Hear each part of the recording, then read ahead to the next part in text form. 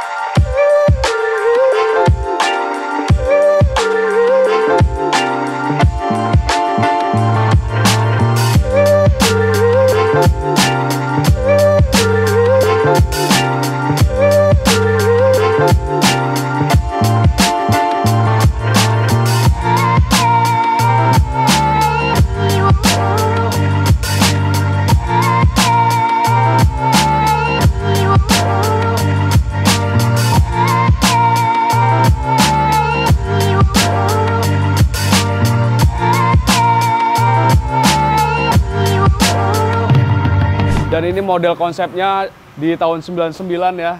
Tapi ini mobil baru. Dan kemarin sempat kita ngobrol sama si ownernya, Pak, direstorasi ulang. Saya bilang seperti itu. Bukan mas, ini mobil baru. Tapi kok modelnya ini ya, modelnya model lama ya. Emang seperti ini. Ini mungkin katanya di Indonesia hanya ada berapa berapa biji aja. Gua nggak begitu paham lah. Tentunya mobil ini semuanya masih manual, dari power window juga masih manual, dari jok-joknya semuanya manual dan ini kita rubah di bagian jok tengah sama belakang itu nyatu dan sekarang kita membuat kaptensi tapi bisa orang masuk ke dalam dan kita mencari bangkunya yang benar-benar ukurannya kecil itu sangatlah sulit guys. Nah kalau kita melihat postur eksterior mobil ini benar-benar mobil yang gagah sekali untuk off-road atau untuk e, berpergian gitu. Kalau kita melihat di dalamnya benar-benar standar banget, warnanya warna abu-abu dan kita menyesuaikan dengan konsep si mobil original. Dan ini nggak hanya pemasangan interior, pemasangan audio system juga dipasangkan di Venom Galeri Bekasi untuk membuat multimedia di bagian interiornya, untuk di bagian uh, di dalamnya menjadi sesuatu yang lebih nyaman untuk menggunakan musik-musik atau kita mau setel lagu yang kalian suka gitu. Nah, Kalian sebelum kita masuk ke dalam, kalian bisa lihat overall mobilnya dulu guys. Karena ini mobil terbaru tahun 2022, tapi modelnya lama.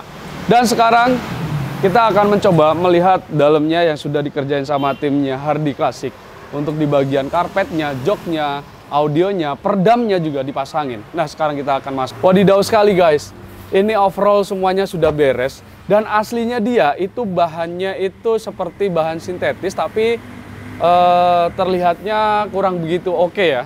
Dan sekarang kami membuat kombinasi warna antara abu tua sama abu muda yang kita kombinasikan di mobil Land Cruiser tahun 2022 ini.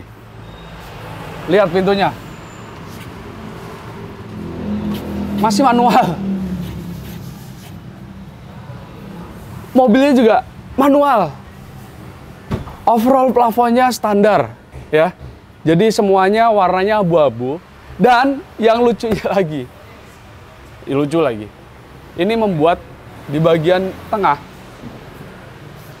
jok tengah kita membuat captain seat, ya. Tapi bagaimana kita membuat captain seat untuk di jok belakang bisa uh, duduk ke belakang. Nah ini ya yang yang jok tengah kita naikkan ke belakang, yang tengah ini kita membuat captain seat tapi bisa orang uh, jalan masuk ke dalam itu ada jedanya. Kalau kemarin kita sudah pasangin Captain Seat uh, Innova Ribbon, ternyata press banget dan orang nggak bisa lewat. Kesulitannya di situ. Kita mencoba duduk. Tuh, Captain Seat guys. Semuanya kembali ke selera ya. Jadi kita permintaan apa pun itu bisa dan menyesuaikan dengan budget juga. Pokoknya kalian bisa mendapatkan harga spesial kalau pemasangan microfiber Astro ya. Dan sekarang kita ganti kursinya. Ini head headroomnya aja masih panjang banget ya. Apalagi setinggi gua 177. Jadi masih tergolong oke okay banget tapi ya kurang begitu nyaman karena kecil bangkunya ini.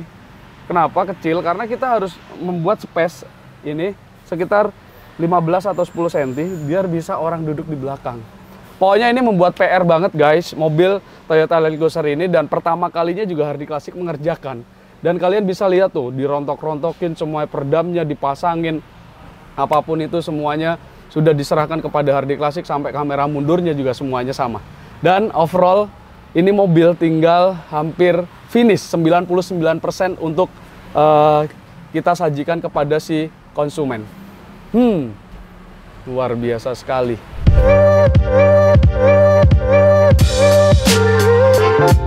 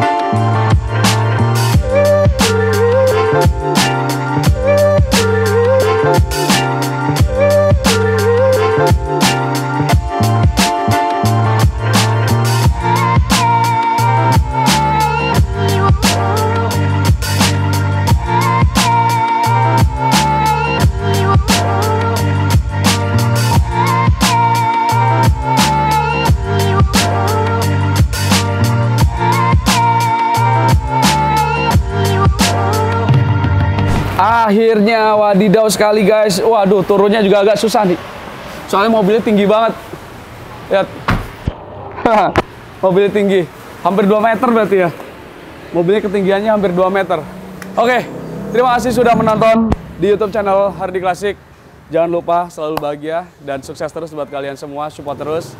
Gimana perjuangan-perjuangan kalian juga harus selalu membara, menggoda. Sampai jumpa di video selanjutnya.